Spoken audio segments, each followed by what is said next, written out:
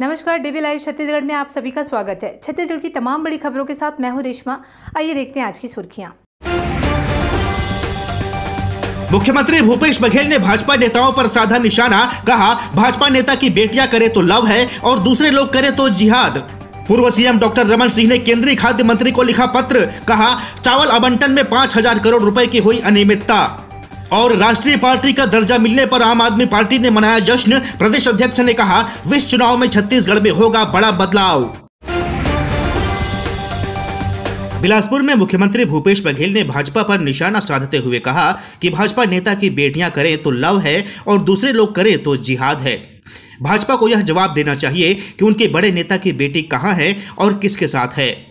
बिलासपुर ज़िले के अगलतरा में मुख्यमंत्री भूपेश बघेल ने मीडिया से चर्चा करते हुए कहा कि भाजपा प्रदेश में केवल दो मुद्दों पर चुनाव लड़ना चाहती है। उनके पास धर्मांतरण और सांप्रदायिकता दो ही मुद्दे हैं। वहीं कांग्रेस किसानों, मजदूरों, आदिवासी, शिक्षा, स्वास्थ्य और रोज़गार जैसे मुद्दों पर चुनाव लड़ेगी। बेमेतरा में दो बच्चों के झगड़े में मौत हुई है। किसी की भी मौत होना दुखद है। उन्होंने कहा कि बिरनपुर मामले को लेकर भाजपा सिर्फ़ राजनीतिक रोटी सेक रही है। भारतीय जनता पार्टी किस प्रकार से चुनाव लड़ेगी, वो दिखाई देगा। उसको धर्मांतरण और सांप्रदायिकता, दो मुद्दे पर चुनाव लड़ना चाहते हैं। मुख्यमंत्री भूपेश बघेल ने कहा कि जिस तरह की घटना हुई है, उसे रोकना हम सब की ज़िम्मेदारी है। केवल शासन प्रशासन से यह संभव नहीं है। इस मामले में साहू समाज के लोगों ने बहुत संयम से काम लिया है और जो सही चीज़ है, उसे सामने लाकर रखा। वे लोग धन्यवाद के पात्र हैं। हमने उस पर कार्रवाई भी की है।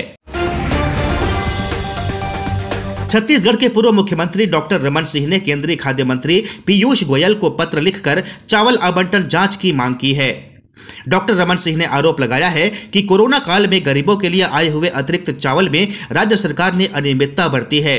इसमें उन्होंने करीब पाँच हज़ार करोड़ रुपए के अनियमितता का आरोप लगाया है। केंद्रीय खाद्य मंत्री पीयूष गोयल को लिखे पत्र में डॉक्टर रमन सिंह ने लिखा है कि केंद्र सरकार ने कोविड महामारी के समय देश के 80 करोड़ गरीबों को प्रधानमंत्री गरीब कल्याण योजना के तहत प्रत्येक परिवारों को पाँच किलो ज़्यादा चावल उपलब्ध करवाया, जो कि अप्रैल 2020 से अब तक दिया जा रहा है। इस प्रकार अप्रैल 2020 से दिसंबर 2022 तक कुल 33 महीने केंद्र सरकार ने राज्य को तीन करोड़ अस्सी लाख इकसठ हज़ार पाँच सौ चालीस क्विंटल अतिरिक्त चावल का आवंटन किया गया है। इसके बाद डॉक्टर रमन सिंह ने लिखा कि राज्य सरकार ने अप्रैल 2020 से दिसंबर 2022 की इस अवधि में गरीब परिवारों को दो करोड़ उनतीस लाख अस्सी हज़ार सात सौ ग्यारह क्विंटल चावल बांटा है।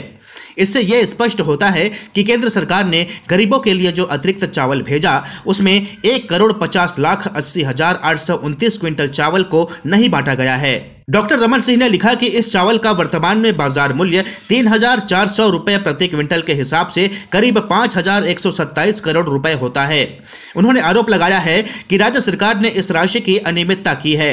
उन्होंने केंद्रीय मंत्री से इस पूरे मामले को लेकर एक उच्च स्तरीय जाँच कमेटी बनाने की मांग की है। आम आदमी पार्टी को केंद्रीय निर्वाचन आयोग ने राष्ट्रीय पार्टी का दर्जा दिया है। इसके बाद छत्तीसगढ़ में आप नेताओं और कार्यकर्ताओं में उत्साह देखने को मिला। रायपुर के पंचशील नगर स्थित आप मुख्यालय में बड़ी संख्या में राष्ट्रीय पार्टी बनने का जश्न मनाने कार्यकर्ता और पदाधिकारी पहुँचे। उन्होंने पार्टी कार्यालय से नेताजी चौक होते हुए कटोरा तालाब तक पदयात्रा निकाली। आम आदमी पार्टी के प्रदेश अध्यक्ष कोमल हुपेंडी ने इतने कम समय में आपको राष्ट्रीय पार्टी का दर्जा मिलने पर इसे आम आदमी की जीत बताया है। उन्होंने कहा कि केवल दस साल पहले ही बनी पार्टी ने जनता के समर्थन से उपलब्धि हासिल की। पार्टी तीन बार दिल्ली की सत्ता में आई, पंजाब में भी सरकार बनाया। कोमल हुपेंडी ने आगे कहा कि आम आदमी पार्टी छत्तीसगढ़ में लगातार डोर टू डोर कैंपेन कर रही है, जिससे पार्टी संगठन लगातार मज़बूत हो रहा है। आने वाले विधानसभा चुनाव में छत्तीसगढ़ में एक बड़ा बदलाव होगा। छत्तीसगढ़ में कोरोना संक्रमित मरीजों की संख्या लगातार बढ़ रही है। पिछले 24 घंटों में चार हज़ार तीन सौ इक्यासी सैंपलों की जाँच की गई जिनमें 326 नए केस मिले हैं। प्रदेश में अब एक्टिव मरीजों की संख्या नौ सौ चौरानवे हो गई है। बता दें कि प्रदेश में सबसे ज़्यादा रायपुर में 44 नए केस मिले हैं।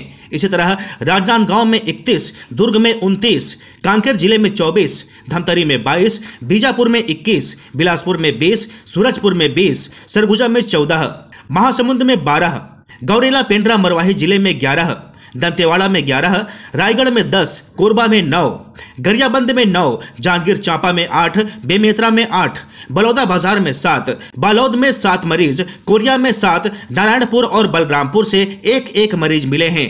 कोरोना के बढ़ते आंकड़ों ने स्वास्थ्य विभाग की चिंता बढ़ा दी है। मरीजों की लगातार बढ़ती संख्या की वजह से अस्पतालों में मॉक ड्रिल किया गया।